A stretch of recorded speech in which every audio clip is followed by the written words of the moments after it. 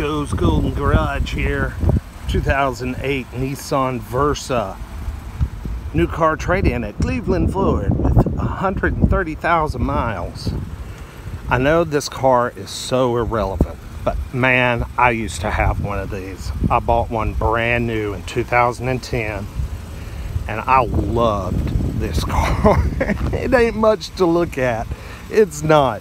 But man, it was so economical. It was cheap to buy new. I bought it brand new for 12,000 bucks. And plus, it has the biggest and roomiest back seat for a small car.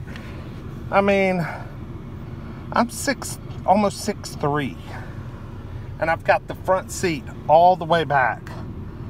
Has plenty of headroom. These are great economical cars if you're just looking for cheap transportation to get around. Now this one's a little beat up.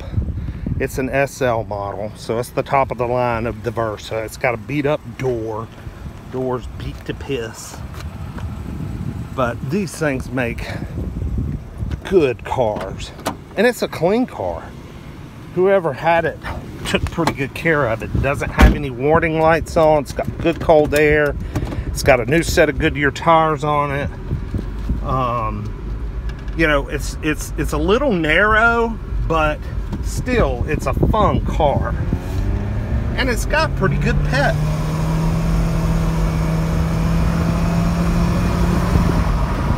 I mean, it is a CVT, and it's Nissan's old CVT. But if you buy an S and not an SL, if you buy just the S, you get a regular four-speed automatic, which that's what mine was. The SL makes it a CVT. They also offered a six-speed manual on one of these.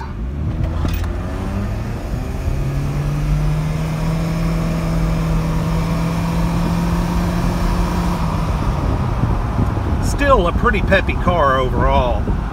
Not bad. Not bad. 2008 with 130,000 miles. It's got a busted or a cracked windshield. It's got some dents and dings on the outside. Um, inside's pretty clean. This'll probably be a $1,500 car. I would, if I was guessing. Um, and it's probably worth it. Uh, the CVT seems to shift pretty good.